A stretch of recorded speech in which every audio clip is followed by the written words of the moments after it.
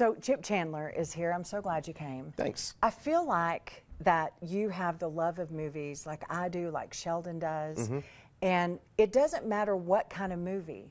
There's not a certain kind of movie that I like. I just like movies. Yeah, I like to be taken away. I like to Is go to the theater and just fall into somebody else's life for a couple of hours Yeah. and see where it goes. Yeah, And it's a lot of fun. always the movie, you know, air conditioned. And now, can you believe movies having the beautiful seats and you can get, you know, drinks delivered? I mean, it's crazy. It's, it's wonderful. Got to get that, that theater experience Yes. as great as it, as they can because it's so easy to just stay home. Yes, and I don't and I don't want to do that with I don't either. I want to Yeah. Mm-hmm. go. So you have to understand, Chip uh, has has always been right on with the Oscars. I, you Mm. I have. do okay. Listen, I follow you, and I'm like Chip said, and Sheldon kind of is like that too. He's like that movie. You know, that's the one. I go and see him because y'all Mm-hmm. Say. So tell us what you think is going to happen. All right, so the Oscars are Sunday night, and they're starting an hour earlier Oh, this they year. are. Okay. Um, so yeah, that's something everybody needs to remember. If you turn it, tune in an hour late, you're going to miss some of the big award. You'll miss supporting actress and supporting actor probably, and you'll miss I a lot of the see. fun. Yeah. I want to see. So yeah, it's we've got uh, Oppenheimer nominated for the most Oscars this year. It's probably going to do really, really well. Really. Um, it's it's the one that the consensus is really built around in most of the categories it's nominated for. 13 Yeah, I think somewhere yeah, around there? yeah. They'll probably win seven, maybe eight. Whenever you saw it, Oh, what yeah. did you what did you think? Whenever you I loved Oppenheimer when I saw it. I thought, yes, it's a three-hour movie, but it just flew past. I Oh, did really? not. It didn't. I don't remember any lag in it. I remember sensational performances across the board. Wonderful. I, I just, I really, really enjoyed it. It's one of my favorites of the year. Tell me, uh, are, it's up for Best Picture. It's up for Best Picture, which is probably going to win. It's up for Best Director for Christopher Nolan. Oh. Amazingly, this is probably the first time he's going to win an Oscar. He's been nominated eight times, including the three specific nominations that he got this year for Best Picture, Best Director, and Best Adapted Screenplay. Oh, So he's probably going to win Best Director and Best Picture this year. Finally, um, have have two Oscars to his a- name after 25 years in the industry. Yeah. I didn't realize that. Yeah.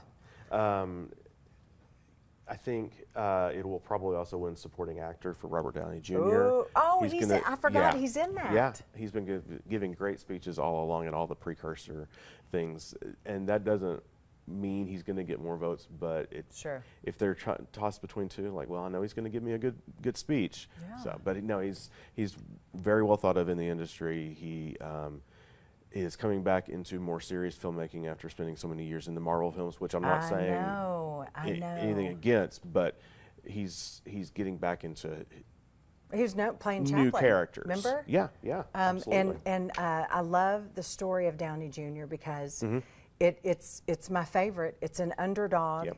And he comes back and he's killing it. And I, that's one of Mm-hmm. Yeah. that's my favorite. It's really cool to see. Yeah, he'll have a really emotional um, acceptance speech, I imagine. Yeah. Okay, what about Best And funny. Actress? Best actress, it's um, really two between two of the actors. Uh, Lily Gladstone for Oh. uh, Killers of the Flower Moon. She's the first um, actress who identifies as Native American to be uh, nominated for an Oscar, and um, very likely going to be a historic win. Oh. The one who could pro- possibly take it away is Emma Stone for Poor Things.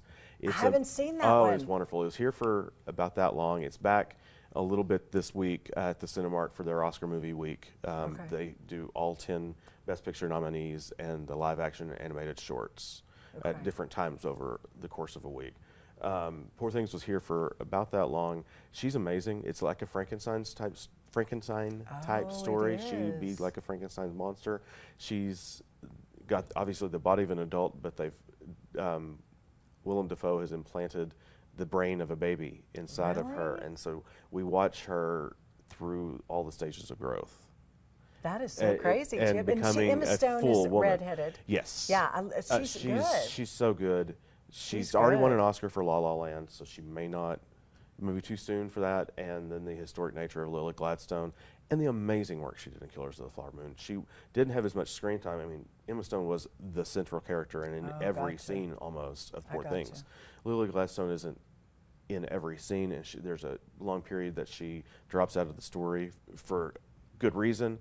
But her presence is always there. I just I loved her performance. Really? Very excited. Well, let me let me do this. We've got to take a break. Will you stick around? Sure. And let's talk more because there's a couple more I want to ask you. Yeah. Uh, and and I know our producer's like, "What are you doing?" but we got we got to talk just Sorry, one more time. Sorry, Maddie. Uh, let's take a break and we'll come back.